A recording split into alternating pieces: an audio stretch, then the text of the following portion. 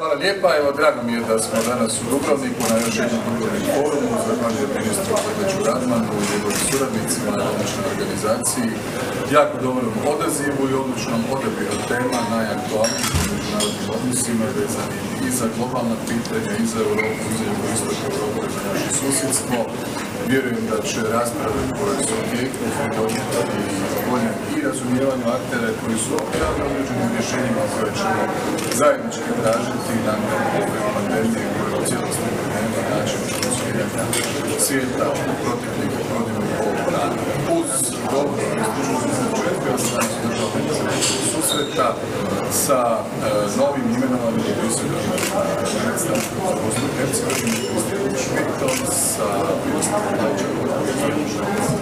dijalog između Srbije i Kosova,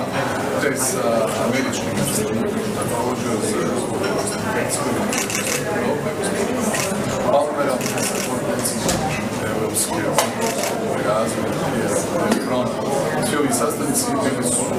prigoda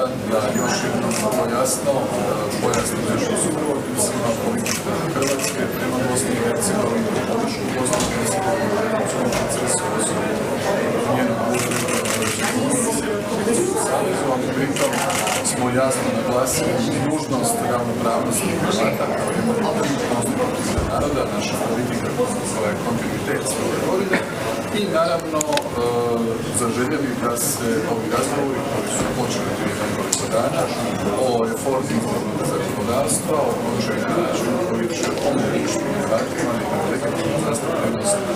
u predstavničkim tijelima i u predsjedništvu Bosne i Hercegovine, da nema